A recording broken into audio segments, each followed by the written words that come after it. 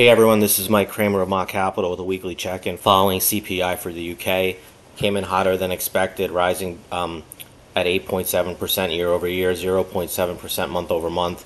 Both easily beat expectations. Core came in at 7.1%, easily beat expectations, and was also higher than last month's reading.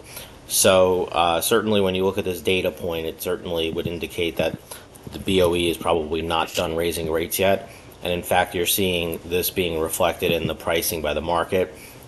Uh, the terminal rate right now is priced to rise to 5.96% by February of 24. It's also important as the market is increasing the bets that the BOE actually raises by almost 50 basis points tomorrow.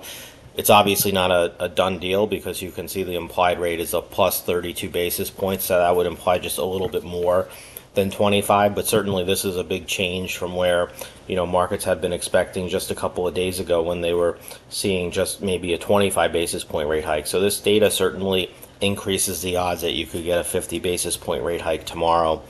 Uh, and what we're seeing really taking place in the bond market is uh, very telling. You can see that the front of the curve on the two years rising rather dramatically uh, back above the highs that we saw in uh, September uh, we're trading well above those levels now with the with the British two-year trading above five percent. When we look at the momentum on the British two-year, you can see that that has clearly been uh, positive and it's very strong.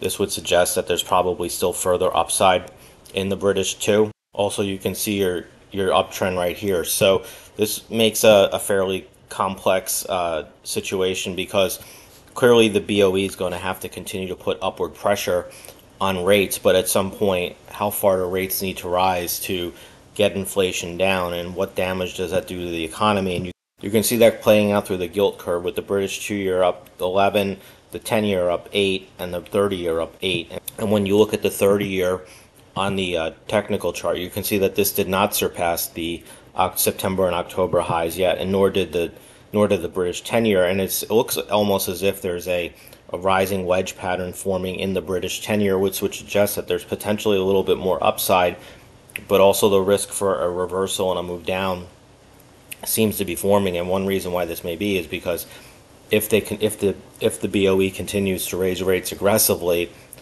what does that mean for the long term growth prospects of the country? Given that it probably increases the odds of recession uh, and maybe even stagflation really beginning to hit hard on the economy. And this is something that we need to keep an eye on because if you continue to see rates on the short end rise much faster than that on the long end, or you were to even see the long end begin to break down, this will clearly be more of a recessionary signal and something that needs to be watched because that wouldn't obviously be good for the equity market.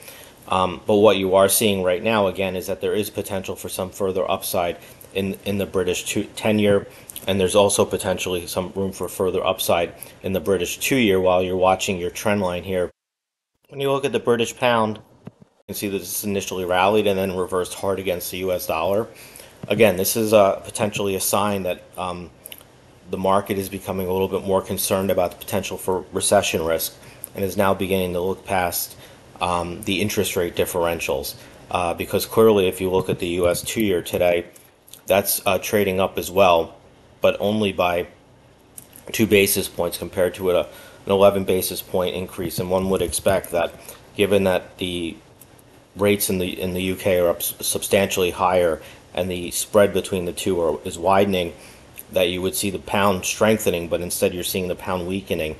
Um, and this is indicative of a market that perhaps is beginning to think about uh, recession odds. And so, what this means is that we're watching support levels and resistance levels very carefully because if you were to break below 126 on the pound or this 126 region right in here, this would obviously set up a further drop to 125 or so.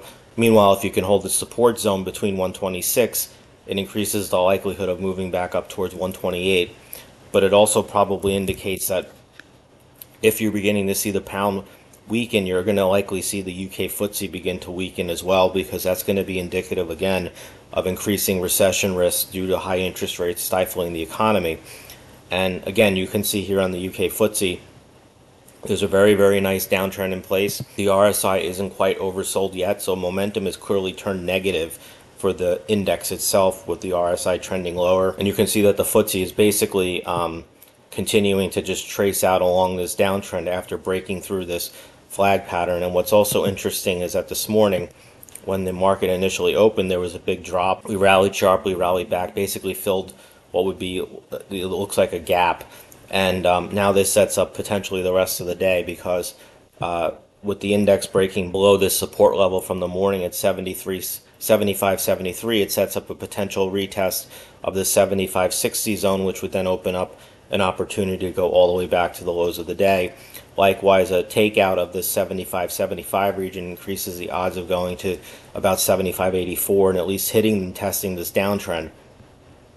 But the problem again is that if you're watching how this market is trading, it might it might come back down to you know how is the how is the pound trading because if the pound continues to show signs of weakness against the dollar, this would likely be indicative of the market beginning to say that hey, you know what, all these rate hikes, all the rate hikes and the damage that are being caused by high inflation and the BOE's need to raise rates is going to have a significant long-term impact on the British economy, and that may actually turn out to be a negative for stocks, which may reverse a trend of higher rates, stronger currency. Stronger currency brings down uh, inflation. Stronger currency helps to um, increase earning power, which would be a positive for stocks, and that se- seems to be uh, potentially reversing today at least this is a trend that you're going to want to watch and see if this continues to develop in the next few uh, days and weeks. Anyway, I hope this helps. Have a great rest of your day.